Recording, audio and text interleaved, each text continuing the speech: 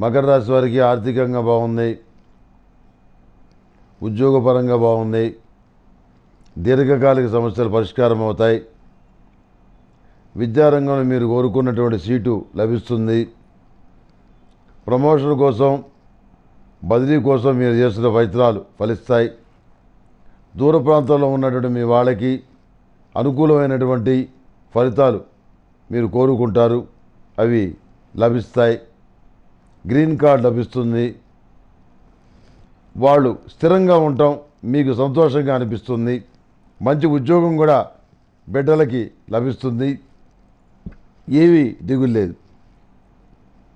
వివాహాది శుభకార్యాలు ముడిపడతాయి. చర్చలు ఫలిస్తాయి. నూతన వ్యాపార వ్యవహారాలు కొన్ని జీరో బిజినెస్ వ్యాపారాలు ప్రభుత్వ వ్యతిరేకమైనటువంటి చట్ట వ్యతిరేకమైనటువంటి వ్యాపార వ్యవహారాలు చేయాలని చెప్పని మీ మీద ఒత్తిడి వస్తుంది. న్యాయబద్ధంగా వ్యాపారం చేస్తుంటే లాభాలు రాకపోగా చేతి డబ్బులు పడుతున్నాయి. ఏం చేయాలని చెప్పని ఆలోచిస్తారు? మనం విలువలకి కట్టుబడి ఉండటమా? లేక విలువలకి కట్టుబడి ఉండకుండా వ్యాపార ప్రయోజనాలే మనం ప్రధానంగా చూసుకోవటమా అనే విషయంలో ఆలోచన చేస్తారు. అదేవిధంగా వ్యాపార వ్యవహారాల్లో జరుగుతున్నటువంటి రకరకాల కల్తీలు కల్తీ వ్యాపారాలు కల్తీ మందులు కల్తీ విత్తనాలు ఇవన్నీ ఏవైతే ఉన్నాయో ఇలాంటి వ్యాపార వ్యవహారాలు ఇలాంటి పాపం నేను చేయను నేను చేయకూడదు ఇలాంటి వ్యాపారం నాకు వద్దని చెప్పి పక్కన పెట్టేస్తారు. గతంలో చేసిన వాళ్ళు కూడా పక్కన పెట్టేస్తారు. నీతిగా నిజాయితీగా ఉందాం భగవంతుడు ఇచ్చిందేదో తీసుకుందాం. ఏమీ ఇవ్వకపోతే మంచినీళ్ళు తాగి పడుకుందాం అనే పద్ధతులు ఆలోచిస్తారు. సామాజిక బాధ్యత గురించి ఆలోచిస్తారు.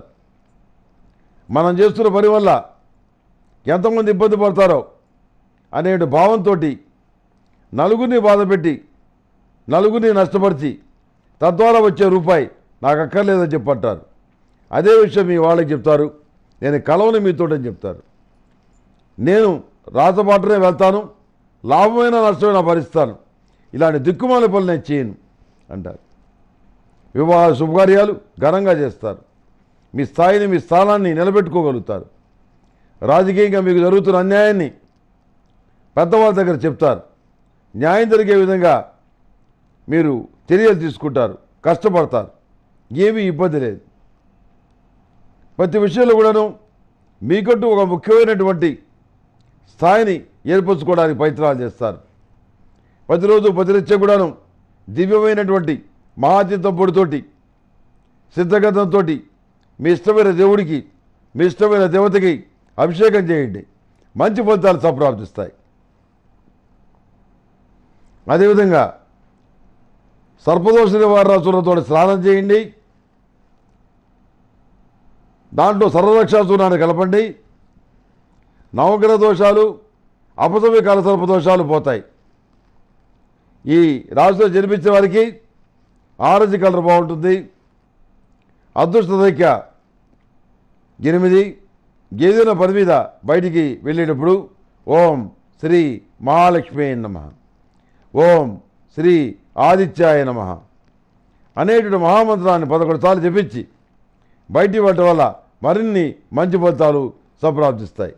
ఏ పూజైనా ఏ నోమైనా ఏ వ్రతమైనా ఏ అభిషేకమైనా ఏ హోమమైనా ఆర్డర్ చేయండి.